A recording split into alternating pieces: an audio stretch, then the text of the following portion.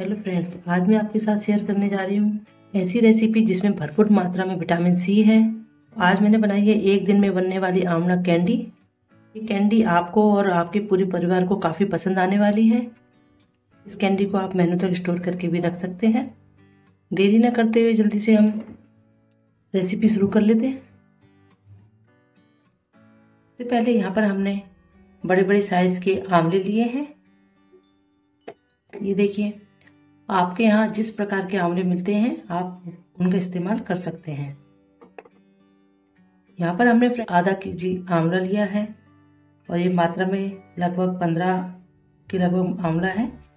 इस आंवले को सबसे पहले हमने जो इस प्रकार से दाग लगे हैं, कोई भी स्पॉट लगा हो या फिर थोड़े दाग दगीरे हो, खराब हो, आप उन्हें हटा दीजिए। देखिए, इस प्रकार से जो आंवला है, थोड़ा ख़राब है, इसे हम साइड में रख देते हैं। और ये जो आंवला है, बस अच्छा है, लेकिन इसे भी हम, लेकिन ये जो दाग है, इसे भी हम साइड में रख देते हैं। हमने इन आंवलों को सबसे पहले धो दिया था और धोने के बाद इसे हम एक किसी कॉटन के कपड़े से इस प्रकार से साफ़ कर लेते हैं।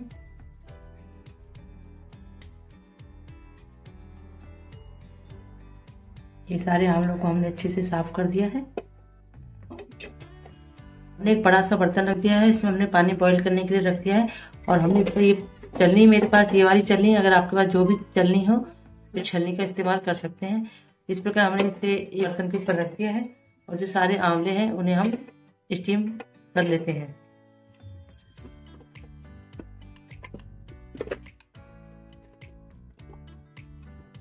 इन आंवलों को कवर कर देते हैं आठ मिनट के लिए। आठ मिनट हो गए हैं। इधर हम अपने आंवलों को चेक कर लेते हैं।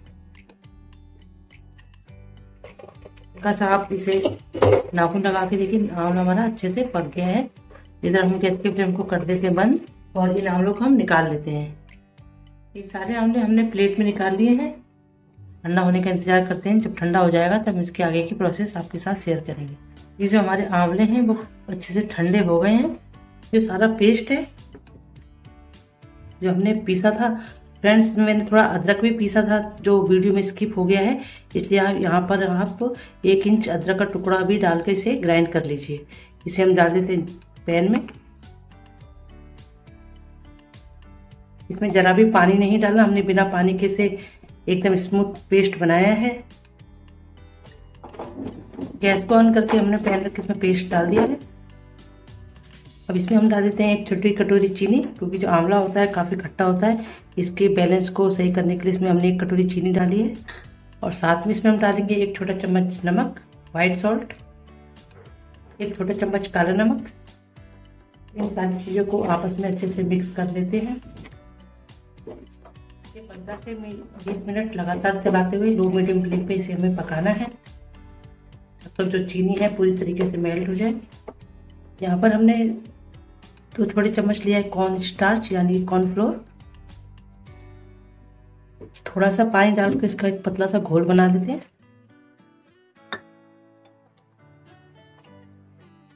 इसे इसे इस प्रकार से घोल बना लेते हैं ताकि ये नीचे लगे ना, इसे जल्दी जल्दी चलाते हुए इसका हमने ये घोल बना लिया है। यहाँ पर हमने एक केक टिन लिया है। आप चाहते हो यहाँ पर कांच का बाउल हो तो आप उसे भी ले सकते हैं। यहाँ पर मैंने स्क्वायर लिया है। हम चारों तरफ़ ग्रीस कर देते हैं ताकि जो हम बैटरी इसमें डालेंगे तो वो नीचे अगर आपके पास बटर पेपर हो तो बटर पेपर लगा देना। वरना आप इस प्रकार से घी से चारों तरफ़ से ग्रीस कर लीजिए। इधर जो हमारा बैटर है, उसे भी चेक कर लेते हैं। ये देखिए, जो हमारा बैटर है, काफ़ी गाढ़ा होने लगा है। देखिए, इसकी कंसिस्टेंसी को हमें एकदम जमाने लायक बनाना है तो इसके लिए हमने जो कॉर्नफ्लोर लिया था, उसे धीरे धीरे करके डाल देते हैं और लगातार इसे चला लेते हैं।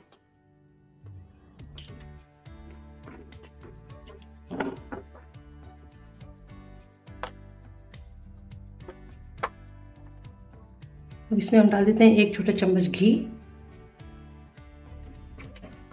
अच्छे से मिक्स कर लेते हैं। आप देख रहे हैं कितना थिक होने लगा है। इसकी कंसिस्टेंसी कितनी बढ़िया लग रही है। तो बस परफेक्ट एकदम हमारा आंवला जो कैंडी है, बस झटपट बनकर तैयार होने वाली है। इसमें हम डाल देते हैं आधा नींबू का रस, ताकि जो कैंडी है, एकदम सख्त ना हो। इसे अच्छे से मिक्स कर लेते हैं। ये देखिए फ्रेंड जो हमारी आंवला की कैंडी है, बस बनकर तैयार हो ही गई है। इधर हमने कर दिया गैस के फ्लेम को बंद।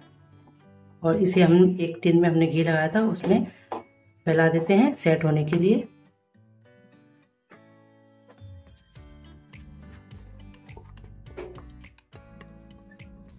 टैप टैप कर लेते हैं।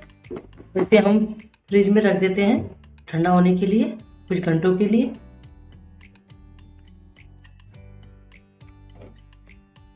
ये देखिए फ्रेंड्स मैंने इस टाइप के कुछ बॉल्स भी बनाने हैं, लड्डू टाइप के, ये भी बच्चों को काफ़ी पसंद आते हैं।